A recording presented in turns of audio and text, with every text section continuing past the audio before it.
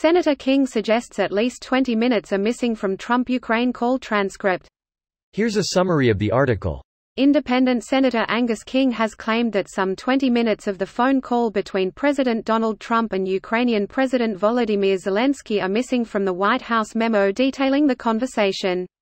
King told CNN host Anderson Cooper Tuesday that he and his staff had reconstructed the call using the memo, determining that more than two-thirds of the call time was unaccounted for. The full transcript of the now infamous call between the two leaders has not been released. King admitted that some, or even all, of the missing time could have been taken up by translators facilitating the call. But the president of the Ukraine speaks English. If there was no translator that raises a question of what's in the other 20 minutes of that discussion, King suggested Trump believes that criticism of him is treason against the United States. That's not true. That's just not the way it works. Asked whether the officials identify could be kept secret, King told Cooper, I certainly hope so.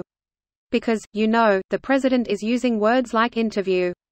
But last week he used words like spy, and implying execution.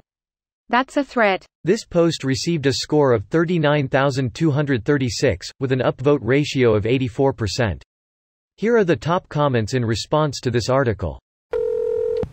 The transcript they released said it was a 30-minute call and it was a five-page transcript. This has been known for a while. The scary part is those are the best five pages they could transcribe. Redacted sections include Trump asking for a gallon of orphans' blood, and casually speculating about the possibility of nuking Wakanda. Trump wants alligators with frickin' laser beams attached to their heads.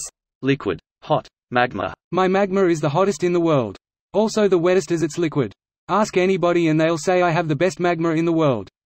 A tremendous amount of magma. No collusion. Look at my red-hot magma. You know it, I know it, everyone frickin' knows it. Okay, Scott. Scotty doesn't know. Nixon Speed Run. Found my new band name. Will y'all be touring with Iron Reagan?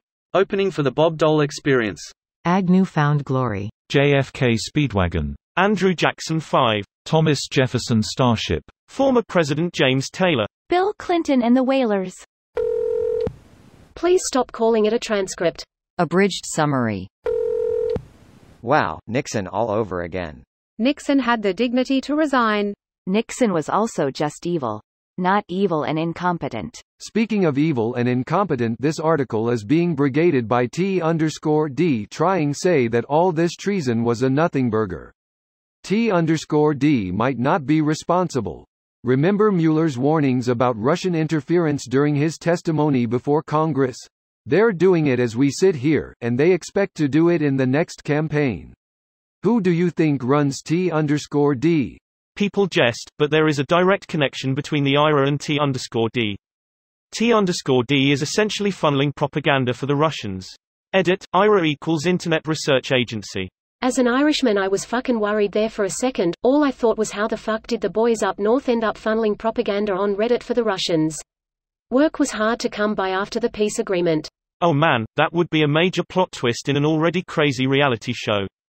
If I may ask, a bit of a pivot, how have things been in the recent weeks? With all these Brexit shenanigans, is there any talks of Northern Ireland leaving the UK? Apologies if I come across misinformed, my attention has been mostly on my own country's issues, edit, I meant Northern Ireland. Apologies. They are in cahoots with the Conservative Party who today have put forward a way to prevent the backstop. By having a customs zone each side of the border will have to pass through.